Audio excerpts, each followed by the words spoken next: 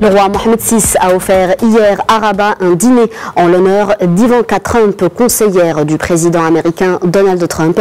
Le dîner était présidé par la princesse Lala Mariam.